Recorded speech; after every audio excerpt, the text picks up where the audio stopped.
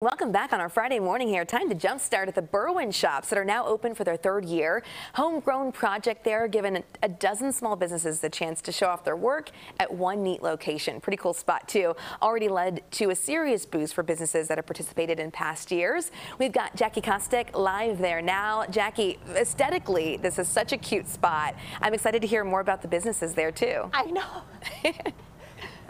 Yeah, Audrina, I loved when you when you teased it and you mentioned how colorful the shops are. Yes, because when you drive down the street and see uh, and see the shops, you just are so drawn to them because they're so cute. So I'm here with Kendra Shaw this morning from the Berwyn Development Corporation, and it was really uh, your team, Kendra, that came up with the idea for these shops that are such a boost to entrepreneurs, right?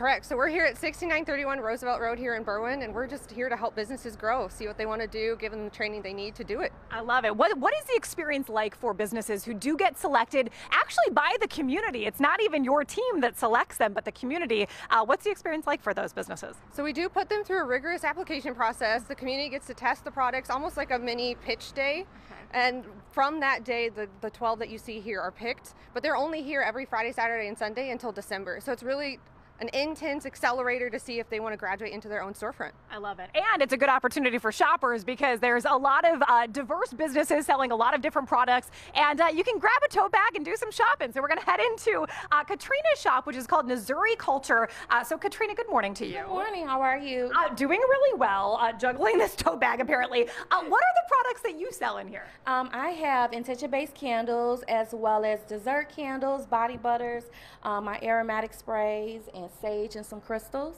I love it. Um, what is the story behind uh, the name Mzuri Culture and uh, why you wanted to start this business? I know you started it early in the pandemic. Yes, I started my business in 2020. Um, with the name particularly Mzuri, it means uh, beautiful and well in Swahili.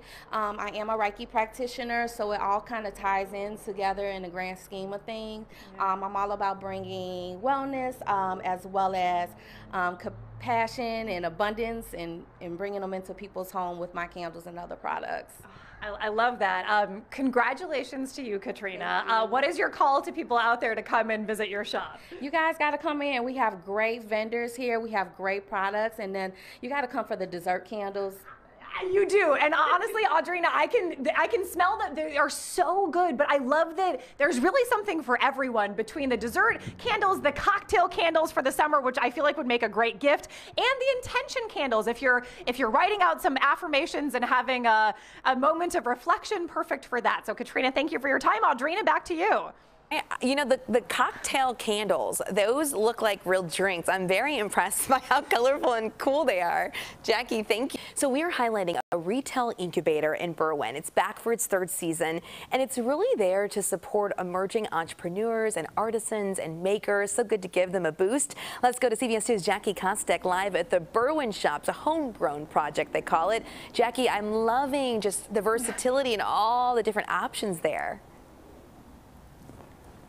Audrina, this really is a special place. And if you are somebody who, well, I know that you personally are somebody who loves to shop local, uh, but if anybody who's at, home right now also loves to shop local, this is such a great opportunity to come and check out. Uh, they've got the coffee shop, they've got uh, a couple different bakery options, they've got uh, a candle shop, a pet boutique, just really something for everyone and a great opportunity to come in and just uh, support these entrepreneurs and these small businesses. We're now inside of uh, four four-star handcrafted coffee. And I'm here with Chris and Griselda Camacho, who are the owners of this company. Good morning to you guys. Good morning. Good morning. Good morning. Yes. Okay, so tell me how you got started in, in 2021 with four-star handcrafted coffee. Great, great question. So Griselda and I spent some time um, in Australia a couple years back.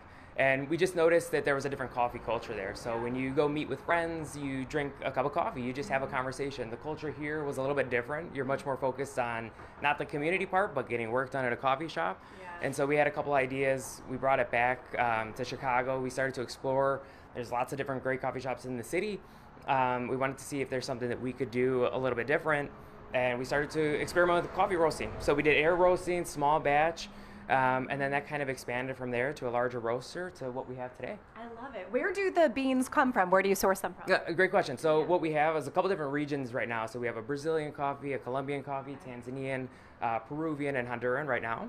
Um, we actually use an importer from Wisconsin um, to bring our beans in, and then we bring them in in uh, different batches. I love it. Uh, talk about the name Four Star Handcrafted Coffee because I imagine that it's Chicago related. Yeah, so both Griselda and I, being from the city, Yeah. um, we wanted to have some homage, if you will, back to you know where we're from, um, and that's where you have the four stars for the Chicago flag. I love it. Um, what has this opportunity, being a part of the Berwyn shops, um, afforded you? Like, how is it changing your business?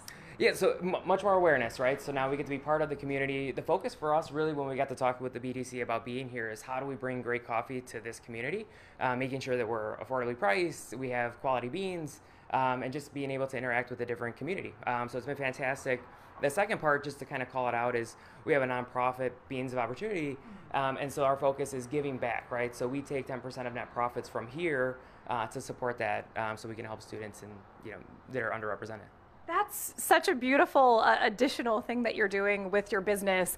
Uh, what is your call to folks? I mean, you're actually one of the first shops that people will see when they come into uh, this this uh, boardwalk. Essentially, is what it is. Um, but what's your call to people to come check you guys out? Stop in. Um, so really, we want to see you guys come in, talk. We love to talk about coffee. Have a great nitro. Have a, a latte, a specialty coffee that you like to see. Um, explore the other products. So we have some candles, we have other handcrafted goods, but have a conversation, support the business, and then hopefully um, we can see you guys out um, relatively soon. Absolutely. Uh, Chris and Griselda, uh, congratulations on all your success. Uh, come out to the Berwyn shops. They're actually opening up in just a couple of hours at 11 a.m. today. They're open Friday, Saturday, and Sunday uh, through December. So this is really their seven month opportunity to see what it's like to have a storefront space. So it's pretty cool. Check it out. Back to you. Oh yeah, it's really cool, Jackie. I mean, you've shown us coffee shops. Now you said there's a pet shop. We heard about churros, candles. I mean, that's a lot of good stuff in one place. I mean, just about of everything. Exactly. I love it, and it's so colorful and fun, Jackie. Thanks so much for sharing that with us. We appreciate it on a Friday morning here.